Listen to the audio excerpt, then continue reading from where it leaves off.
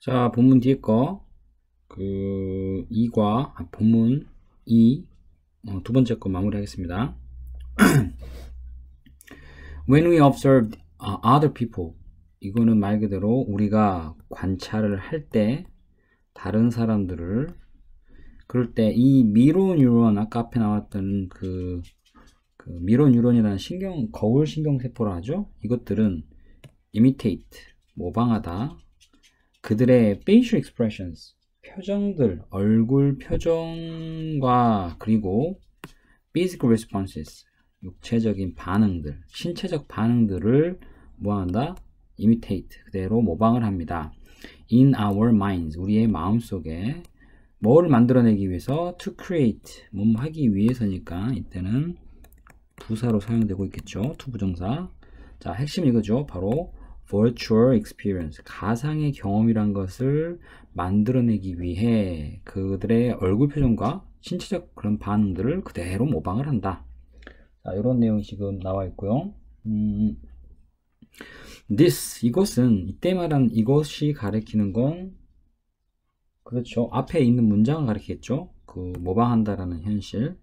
한 문장이라고 쓰겠습니다. 자, 이것은, let's us 우리로 하여금 몸 하도록 한다. 자 그런데 중요한 이 let's가 우리 많이 했던 무슨 동사라고 그러죠? 그를 그렇죠. 사역동사죠. 사역동사. 당연히 사역동사 뒤에 이렇게 우리라는 사람들로 하여금 뭐뭐 하도록 한다는 그 뒤에 그 동사는 원형 부정사를 쓸 수밖에 없죠. to를 쓰지 않는 투 부정사 쓰지 않습니다. 그렇죠?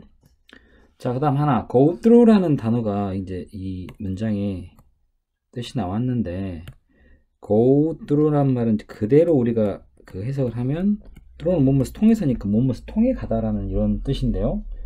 이것은 우리가 소위 말하는 뭔가를 경험하다라는 experience랑 같은 뜻이라고 생각하시면 됩니다.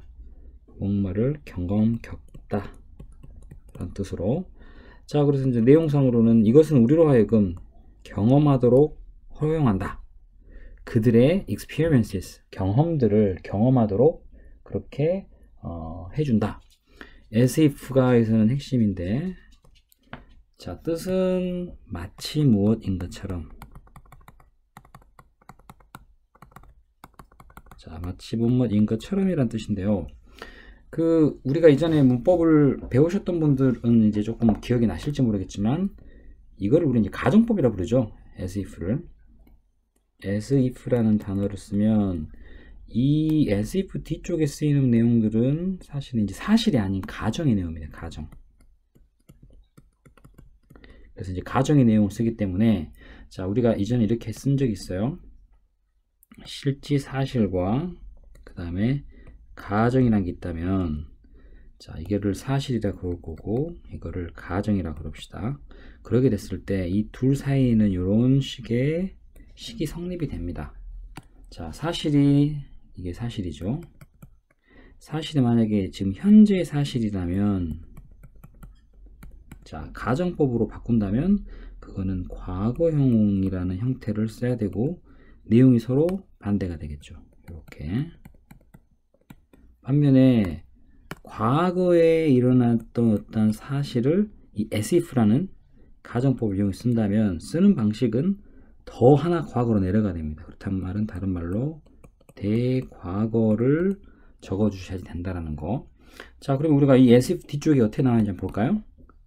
as if 뒤쪽을 봤더니 그 경험들이 우리들의 마치 우리들의 것인 것처럼이라는 말로 were를 사용했습니다. 자, 보다시피 지금 이 뒤에가 들어가는 어, 시제가 과거형이죠. 그럼 여기에 나와 있는 내용 중에 어디에 포함이 됩니까? 바로 여기에 포함이 되죠. 지금 여기. 그러면 이거는 사실은 뭡니까? 현재의 사실과 반대되는 거니까 사실은 나의 경험, 우리의 경험들이 아니지만 마치 우리들의 경험들인 양 그렇게 한다라는 사실과 어, 다른 가정의 내용 쓸 때는 이렇게 과거형을 쓴다라는 거 문법적으로 아주 중요한 부분이 되겠습니다. 여기는 음, 그 내용 자, 뭐 물론 여기서는 지금 여기에 나와 있는 그 문장의 시제 자체가 뭐기 때문에 복수기 때문에 대이기 때문에 뭐를 썼지만 사실은 이제 우리가 가정법에서 하나 더 알고 합시다. 가정법이라는 그런 내용의 가정의 내용을 적는 그런 문장에서 자 비동사의 과거형은 오직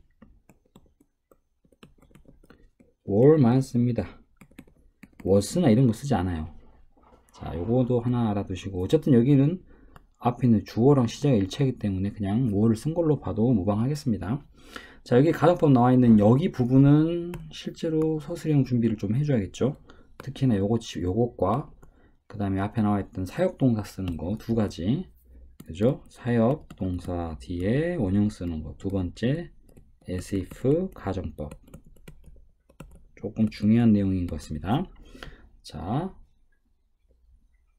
어, 여기까지가 이제 본문 2에 대한 내용 마지막 부분이 되겠습니다.